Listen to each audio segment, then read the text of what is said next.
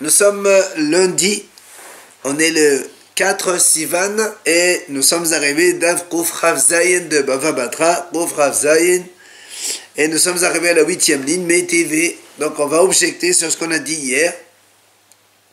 On a parlé donc d'une femme qui accouche un enfant tum, c'est-à-dire on ne sait pas si c'est un garçon ou une fille, donc il n'y a pas les organes qui sont apparents. Même si après, après intervention, donc il s'avère que c'est un garçon.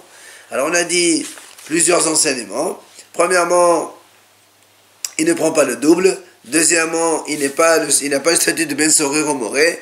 Troisièmement, il ne diminue pas la part de la prora comme on l'expliquait hier. Quatrièmement, Rav Shizbi dit on ne peut pas le faire la Brit Mila Shabbat.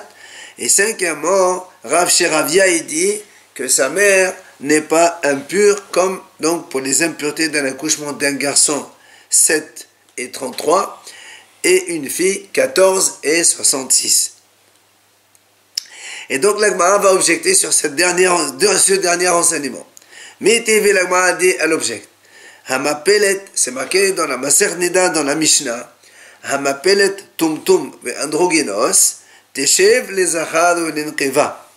Si une femme, elle avorte un bébé, et le bébé, il est soit tum tum, c'est-à-dire donc il n'y a pas d'organe ni mâle ni femelle, ou androgynos, au contraire, il a les deux, il est mâle et femelle, alors la Mishnah dit là-bas, cette femme-là, teshev les c'est-à-dire, on va lui donner, on va lui mahmir, on va lui donner les sons de pureté d'un garçon qui est de 7 jours seulement, et les sons, non, d'impureté, pardon, les sons d'impureté de 7 jours seulement, alors que pour une fille c'est 14.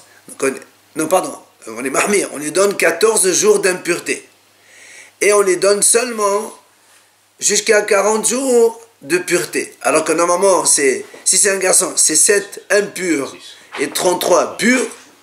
Là, on donne, une fille, c'est 14 impurs et 66 purs.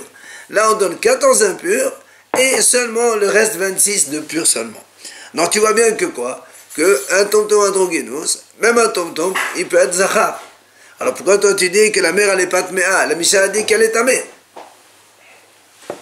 Alors la m'a dit de Rav Shiravia. Ah, donc c'est une question, objection contre Rav Shiravia, qui a dit la mère elle est pas tméa, elle n'est pas impure du tout. Alors elle m'a dit tu as raison, c'est une bonne objection. Alors viens là, elle enchaîne. Lima teufta de Rav Shizbe. Est-ce qu'on va dire aussi alors dans ces cas-là c'est une objection contre Rav Shizbi? Rav Shizbi il a dit un tum-tum, donc on ne fait pas la brite mais là le Shabbat. Pourquoi? Parce qu'il y a marqué Zahar. Et lui, donc pour lui, c'est pas un Zahar depuis la naissance. Or, dans la mission, on vient de dire maintenant que la mère, elle est impure comme un Zahar. Et comme une Keba, les deux. Donc alors, comment tu dis que c'est pas un Zahar? Alors, donc ça va être aussi une objection contre lui. Bien, l'agma dit non, pourquoi? Tana, c'est pourquoi me ça ou les humra? Donc, on dit peut-être que la Misha là-bas, en fait, elle n'est pas contre Rav Shizbi. Et elle est d'accord aussi que c'est pas un Zara pour être Mehalel Shabbat. Mais par contre, comme on a ça fait, est-ce que c'est un Zara ou pas un Zara C'est pour ça que la Misha là-bas dit on lui donne la humra, on est mahmir, pour lui donner l'impureté d'une fille et l'impureté seulement d'un garçon. Et donc, c'est une humra. Alors là, m'a dit, si c'est vraiment comme ça que tu vas te marmir sur cette femme-là, chefs, les achats, ou les nekeva, ou les nidda. m'a dit, dans ces cas-là, si tu te vraiment marmir, on ne devrait rien lui donner comme des jours de, pureté, cette femme. Parce que peut-être que c'est pas ni un zara, ni un nekeva, c'est rien. Et donc elle a une nida. Si elle est nida, il n'y a pas de sang de pureté, il n'y a que de l'impureté. Alors donc tu vas te marmir, alors marmir surtout. Alors il dit, Kashia, tu as raison, c'est donc une objection contre Rav Shizbi aussi. Amad il y a un Rava, il nous enseigne. Tania, Kemate de Rabbi Ami. Il y a une Braïta qui est comme Rabbi Ami. Rabbi Ami, c'est le premier qui a dit un tom-tom qu'on a donc fait opération, on a trouvé que c'est un garçon, il ne prend pas le double, parce qu'il n'est pas garçon depuis le début. Alors, la Braïta, qu'est-ce qu'elle dit? Elle dit, c'est marqué dans la Torah, ben, la Torah dit comme ça, ben abechor. Alors la Breta dit comme ça, ben, velo tum Donc il faut qu'il soit un garçon, pas un tum. Bechor, velo safer. Quand la Torah dit un Bechor, ça veut dire qu'il faut ouvrir un tabou ou que c'est un Bechor. C'est pas un fait qu'est-ce que c'est un Bechor ou pas. Alors l'Agma a dit, ben velo tum qui est la Ami. Quand on a dit ben et pas un tum, c'est comme il a dit Rabbi Ami, que si le garçon c'est un tum, et donc il n'a pas un, donc une double part comme un premier-né. C'est d'accord. Elle a Bechor velo Safer. Là pour Maï. Mais quand tu dis un premier et pas un safek, ça veut dire quoi un premier et pas un safek? Le tom-tom, c'est un safek. Qu'est-ce que tu veux exclure encore? Là, pour Alors, il m'a dit, là, pour de. C'est pour exclure l'enseignement que Rava a donné. Qu'est-ce qu'il a dit, Rava? De Rava. Rava, il a dit comme ça.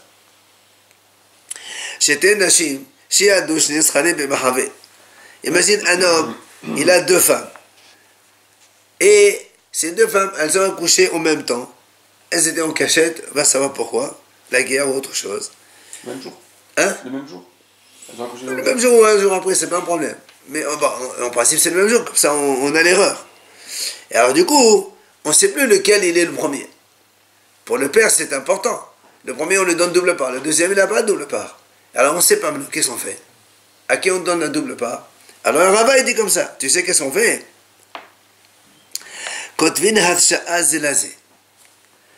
L'un, il écrit à l'autre procuration.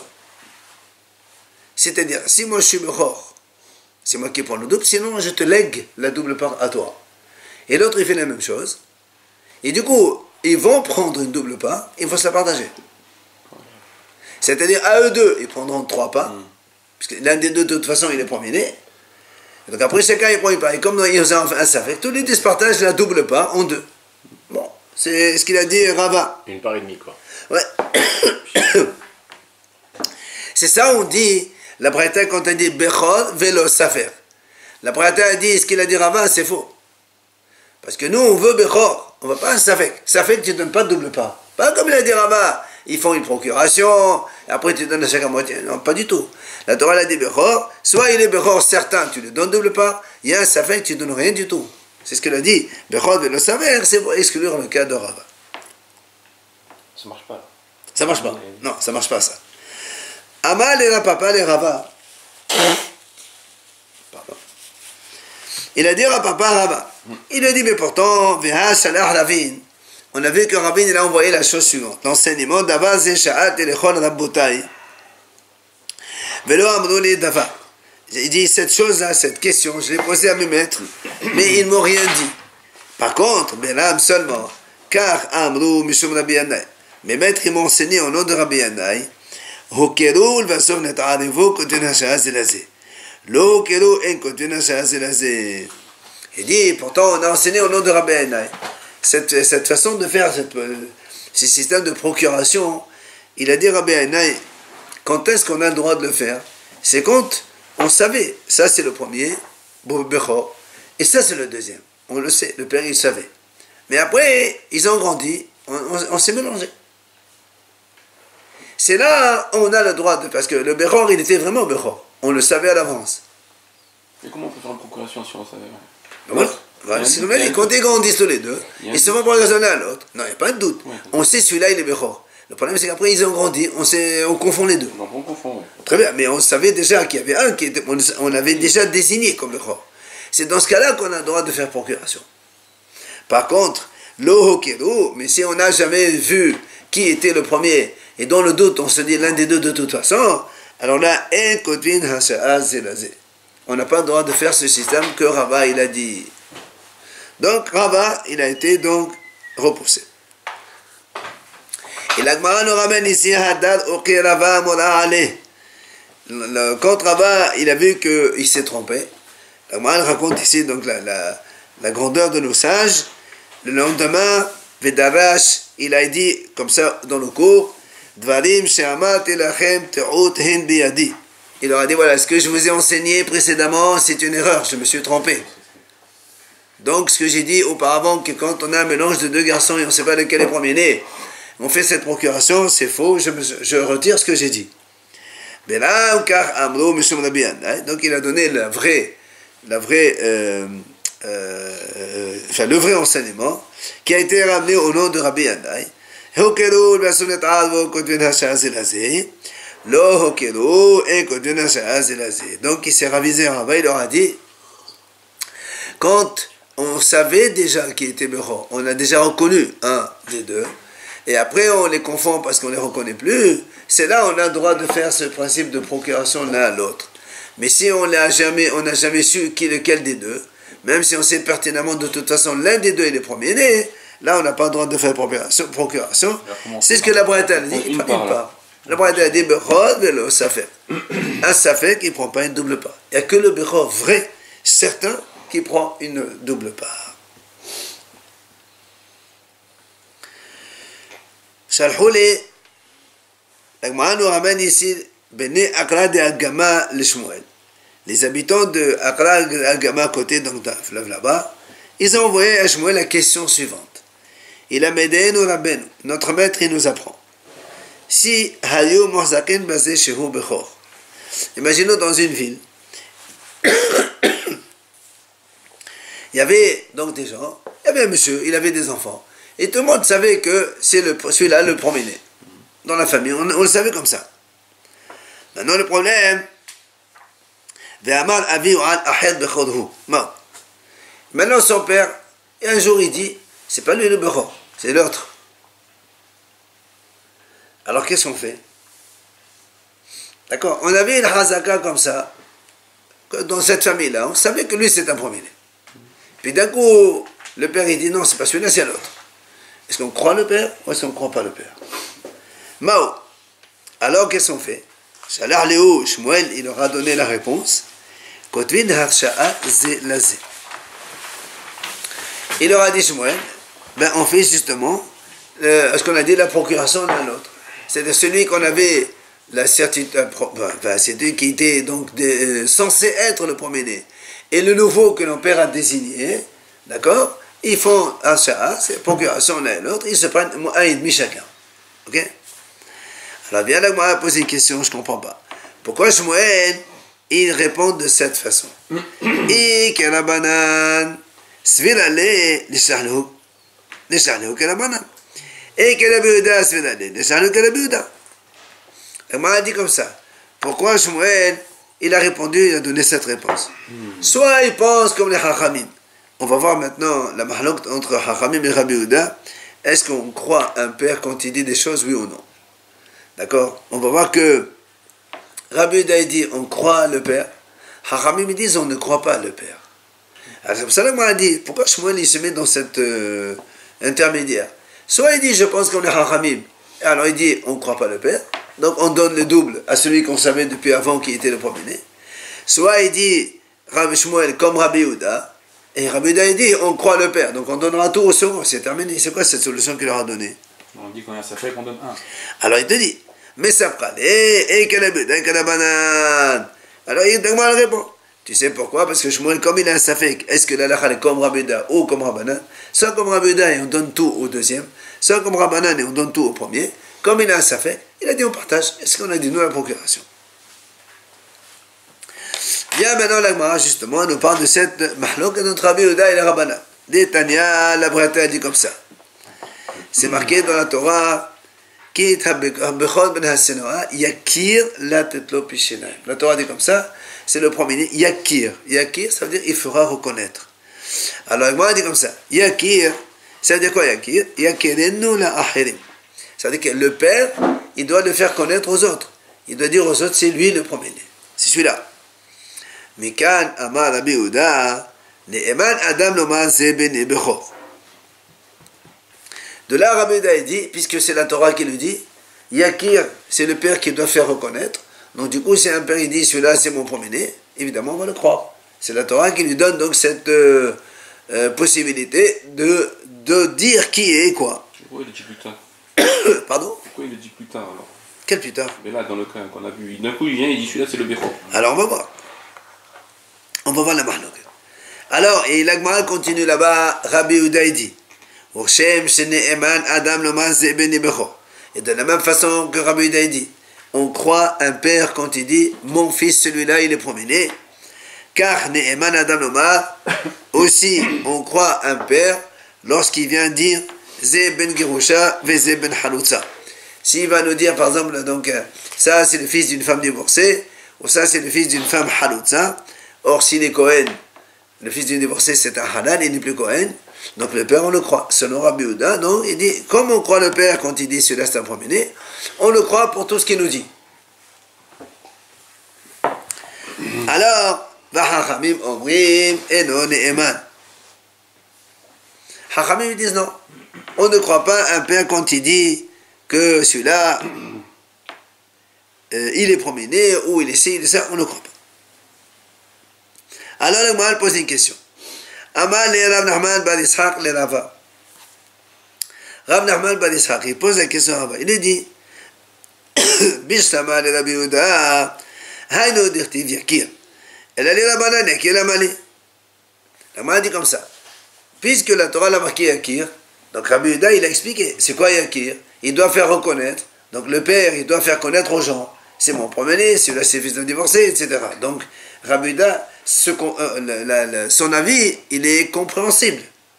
D'accord Mais les haramim qui disent on ne croit pas. Alors pourquoi la Torah le marque Yakir? À quoi il sert le mot Yakir? Il fera connaître. Qu'est-ce qu'il va connaître De toute façon, il va leur dire c'est ça, on ne va pas le croire. À quoi il sert? D'accord? Alors l'Agma a dit Besadir Hekera.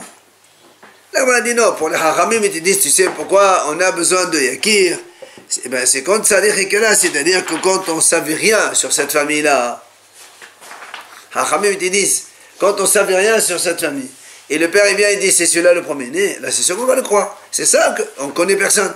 Mais pas comme dans ce cas-là, on avait la, présomption que c'est là, c'était lui, et puis d'un coup il change. Là, Rami dit on ne croit pas. Alors l'Agma a dit, dans ces cas-là que tu as dit, puisque tu as dit on va croire au père, quand il va dire mon, mon fils s'est promené, etc. Quelle est la conséquence pratique? Pourquoi tu dis on le croit? Les metval au c'est pour lui donner donc le double de la part. C'est que ça comme intérêt finalement. Alors là, on m'a dit dans ces cas-là, ella ahir. Et le bail les metval be matana mais là Alors moi, je pose une question. Elle dit, on ne comprend pas. Toi, tu dis comme ça. Quand tes pères dit comme ça, on le croit. Quelle est la conséquence? Parce qu'il veut, donc comme ça, il donne le double de l'héritage. Il dit, mais attends, mais imaginons que le père, il a envie de donner de l'argent à un autre, à notre fils, de son vivant. Il ne peut pas le faire. Bien sûr qu'il peut le faire. Donc c'est quoi la conséquence finalement Il n'y a aucun, aucun, aucun intérêt. Parce que toi, tu me dis, on le croit comme ça, il va avoir le double, double de l'héritage. On n'a même pas besoin de ça. Mais même si tu ne le crois pas, lui, de toute façon, il peut lui donner à qui il peut donner ce qu'il veut à qui il veut. Donc finalement, il n'y a aucune conséquence pratique. Viens l'agma dit non, il y a quand même une, euh, conséquence importante. Laquelle? La slicha ben chassim shenaflo lo echad mekan. L'agma dit, on a besoin quand même de yakir. Pourquoi C'est dans les biens qui lui tombent après avoir donc proclamé celui-là, c'est le premier-né. Nous, on a dit, quand il dit, ce, garçon, c'est le premier-né. Toi, tu me dis, à quoi ça sert? De toute façon, s'il a envie de le donner, il donne ce qu'il veut. C'est vrai. Mais quand il a dit une fois, imagine après, il a des biens, il gagne des biens. C'est quand il a dit, tu peux pas me donner, il aurait pu donner ça à cet enfant. Et il peut pas lui donner des choses qui n'existent pas encore. D'accord? Donc, on est obligé de dire que le, le, yakir, ça a une conséquence, que lorsque, même si au début, c'est vrai, il aurait pu donner ce qu'il possédait de ce qu'il veut, la quantité qu'il veut, mais ce qui va venir après, on ne peut pas le faire. Donc tu vois bien que le yakir, ça sert pour qu'on lui donne la double part de ce qui viendra après. Donc c'est pour ça que pour les haramim, c'est important yakir, pour donner la double part de ce qui va venir plus tard. Il peut continuer à donner. Hein? Il peut continuer à donner. Oui, mais à partir du moment où il dit c'est celui-là le premier, on n'a pas besoin de, de quoi que ce soit après. C'est ça l'intérêt. S'il change, il identifie notre personne. Non, mais quand il a dit une fois qu'il est promené, nous on a dit quel est l'intérêt C'est pour la double part. Si c'est pour la double part, il peut donner quand il veut de l'argent. On a dit non, c'est vrai. Avant, tout ce qu'il possédait, il peut donner. Mais imagine après, il gagne autre chose. Il a pas le droit, il a, il a, il a même euh, part égale. Et non, s'il dit ça, c'est un promené. Oui, mais il est. Ah, Il a la double part. Toi, tu m'as dit, mais alors, on s'en fout, de toute façon, il peut donner ce qu'il veut. C'est vrai, il peut donner ce qu'il veut de ce qu'il possédait avant. Mais ce qui viendra après. et après sa mort. Non, pas après la mort. Il gagne après plus tard. Et alors ça vient après, bon. Eh ben, donc dans ces cas-là, comme il a dit que c'est un premier-né, il aura droit à double part. Voilà l'intérêt. Parce que à un temps X, il ne peut pas dire euh, je donne à ce fils-là, euh, je sais pas, un immeuble que j'ai. Mais si après, dans trois semaines après, il va acheter un autre immeuble, il ne peut pas le donner à lui, parce que c'est un- euh, ce qu'il possède, c'est donc partager de- devant tout le monde. D'accord Donc il ne peut pas donner le double de ce qui n'existe pas encore. Alors l'Agmara a dit, très bien. Ha'olam yakir maintenant selon hachamim, on a dit donc le mot yakir, c'est pour donc donner cette, euh, pouvoir euh, donner ce qu'il enfin, parce qu'il ne peut pas donner ce qu'il va acquérir plus tard. Alors au moins la, la, la, conséquence c'est qu'il va le donner.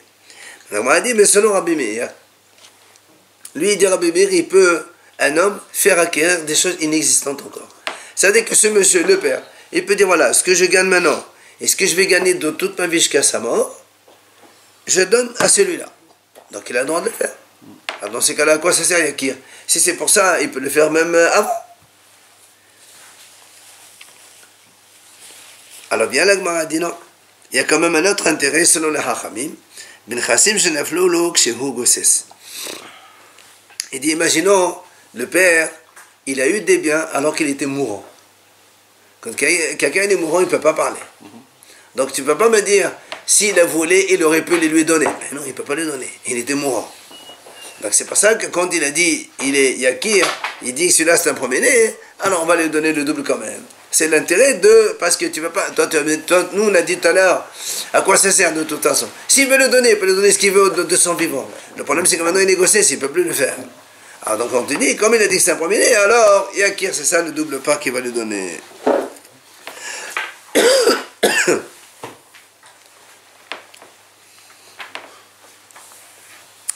תנו רבנן חכמים עושה.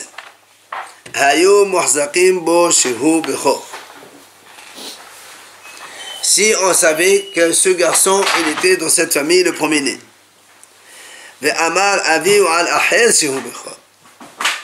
Et il vient, son père, il dit non, c'est pas celui-là, c'est à l'autre. Il y a trop femme, Non, non. Parce que le premier garçon, même de notre femme, c'est le premier garçon du père qui prend les l'héritage de double, c'est pas la la mère. Si elle dit qu'il avait notre femme, personne ne savait. Par exemple, voilà. Néhéman. Alors on dit, on croit le père. Il dit, c'est pas celui-là, c'est l'autre. Alors on lui donne. Maintenant, le contraire. On savait que ce garçon, c'était pas, on savait que c'est pas lui le premier-né. Et le père, il vient et dit, vous savez, c'est lui le bechor. Alors, eno ne'eman. On ne croit pas. L'Agma dit comment? Il dit simplement Recha Rabbi Yehuda, Vesefa Rabbanan.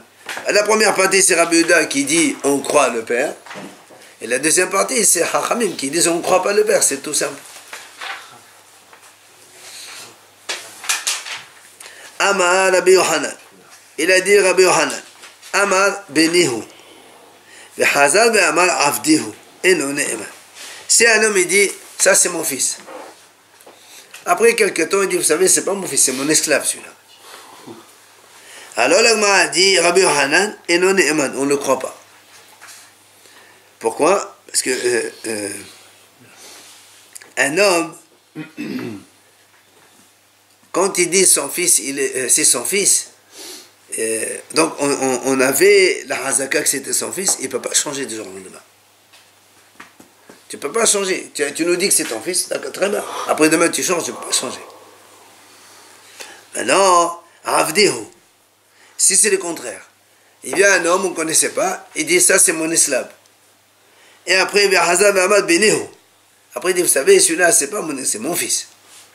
Alors là-bas, on dit Ne'eman. On le croit. Pourquoi on le croit? Il parce que. Parce qu'il peut leur dire comme ça, en vérité, c'est mon fils. Moi, j'ai dit, c'est mon esclave. Il me sert tellement comme un esclave. Il est tellement dévoué à ses parents qu'il il fait tout, tout comme un, serviteur. Bon, un esclave, c'est péjoratif, mais tu sais, donc c'est un, serviteur, quoi. Et l'Agma nous dit,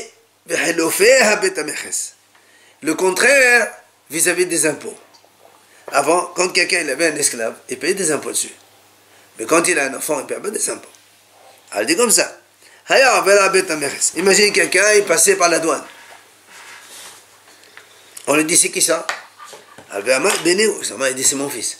Parce que s'il dit, c'est notre esclave, il va payer. Alors il dit, c'est mon fils. Après, il, après, il traverse, il arrive dans la ville. Il a dit, non, mais c'est pas mon fils, c'est mon esclave.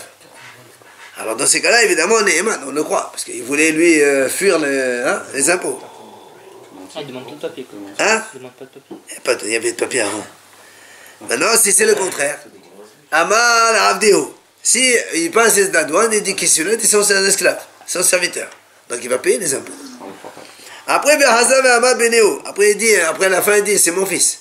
Il dit, Ahmad, si c'est ton fils, pourquoi tu dis ton esclave alors? C'est que c'est faux. Tu vas pas payer des impôts, tu es bête ou quoi? Et non, on ne croit pas. Mais TV, l'agma object.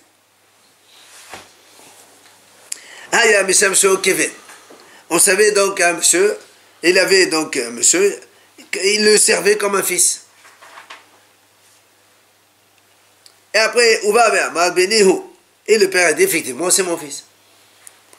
Après, après il vient vous savez, c'est pas mon fils, c'est mon esclave. Alors on dit, comme on a dit tout à l'heure, on ne peut pas changer. Tu dis que c'est ton fils, tu peux pas dire demain c'est ton esclave, c'est pas... Ça se fait pas. On savait que. Tu as dit ton fils, c'est ton fils. Maintenant, c'est le contraire. Il le servait comme un esclave. Il a dit, c'est mon esclave. Après, il a dit le monsieur, non, vous savez, c'est pas mon esclave, c'est mon fils. Et non, on est On ne le croit pas. Évidemment, c'est la question contre Rabbi Tout à l'heure, Rabbi a dit, il a dit, j'ai dit c'est un esclave, ça a été dévoué comme un esclave. Et là, on dit non, on ne croit pas. Hein. Amal Nahman ben Ishaq, il a dit à Nahman ben Ishaq, Hatam dit, Il dit non, là-bas, parce que euh, pourquoi on a dit, quand la Brételle a dit on ne le croit pas, parce que ce, ce serviteur-là, on l'appelait esclave qui coûtait 100. Alors il dit, mais ça mais ça abda, mais C'est ça en fait. Il voulait dire que ce, ce là il coûtait 100 zouz. Alors quand on, l'appelait comme ça, ah, tu ne peux pas me dire que c'est son fils, c'est sûr que c'est son serviteur. Sinon, il aurait cru. C'est comme le cas de Mahlan tout à l'heure.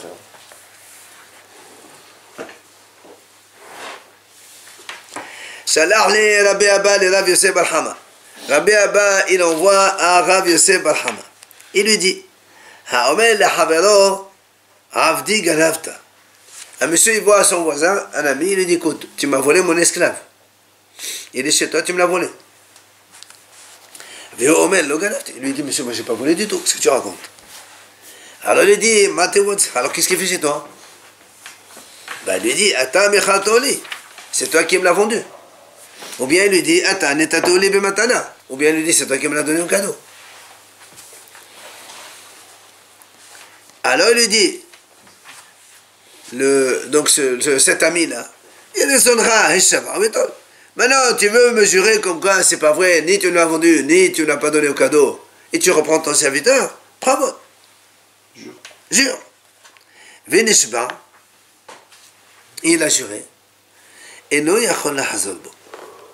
ne peut plus revenir. Parce que normalement, c'est pas comme ça que ça se passe. D'accord euh, Quand on jure, c'est pour ne pas donner, on ne jure pas pour prendre. Et donc lui, il se fait sa justice tout seul. Il dit oui, comme tu lui as dit, si tu veux vraiment, tu jures et tu récupères ton chose, alors il a juré, c'est terminé. Il ne peut pas revenir en arrière. Il n'a pas voulu jurer Hein Il a juré. Il lui a dit, si vraiment tu veux, jure-le, je te le rends. Il a juré que c'est pas vrai. Alors tu m'as dit, Dieu, je te rends. Tu peux pas dire, non, moi je, vais aller au tribunal, je vais faire ci, je... Alors il m'a dit, qu'est-ce que tu veux m'apprendre? Il m'a dit, Tanine, on a déjà enseigné ça. C'est marqué dans une mission de Sanhedrin. Là-bas, on parle de deux messieurs, ils ont un procès. D'accord? Il veut choisir un dayan. Amal Neman Abba. Alors un il dit à l'autre, tu sais quoi, on peut prendre mon père si tu veux. Il va être juste pour nous deux. Et pas de problème. L'autre il dit, il n'y a pas de problème. Ou bien il dit, Neman. Il dit, écoute, ton père aussi, il peut être Dayan, c'est pas un problème, j'accepte. Ou bien Nemanim. Ou bien il dit là-bas, trois c'est-à-dire des gens bédouins, paysans, ils ne savent pas grand-chose. Mais on, veut, on accepte de les prendre pour transiter, euh, faire le. D'accord Comment c'est possible ça Ju- Juge. Euh, C'est pas, c'est pas un, un bedin, c'est une. euh, comment on appelle ça. Non, c'est à l'amiable. Trouver un arrangement. Voilà. Hein Voilà, un arrangement. Alors, la Gemara dit là-bas, la Mishnah dit là-bas, Rabbi Meir Omer, Yachol Lahzor. Rabbi Meir dit, si maintenant, par exemple, moi je dis, alors moi je suis avec un autre, je dis, écoute, on prend ton père. Et il me, il me dit, non, c'est tort. Il dit, monsieur, j'accepte pas. Hop, on change, on va chez le Beddin. Hachamim ils disent, ma putain, et tu t'es engagé à accepter le jugement de tel, c'est terminé. Donc la Gemara dit, donc qu'est-ce qu'il vient nous enseigner sur Haram là? Rabbi Abba, Rabbi. Rabbi Abba, il vient nous dire, ici dans notre cas, quand l'esclave lui dit, voilà, qu'est-ce qu'il met mon chez toi? Il a dit, jure-le, il a juré, il a dit, après il peut plus revenir en arrière. Il dit, mais ça on l'a déjà vu. La Mishnah l'a dit. Quand il y a deux procès, il dit, tu acceptes mon père ou ton père ou n'importe quel... euh, il a dit, oui, j'accepte. Il a fait, la, la, la, la, la, la décision. Tu peux plus revenir en arrière. Bah, là aussi c'est pareil. Même si c'est pas vraiment la halakha. Du moment où vous mettez, vous mettez d'accord tous les deux, on ne peut plus revenir en arrière. Donc c'est déjà marqué dans la Mishnah. Qu'est-ce qu'il va nous apprendre? Alors bien, le a dit, Ha. Tu sais, il vient nous apprendre quelque chose. Quoi?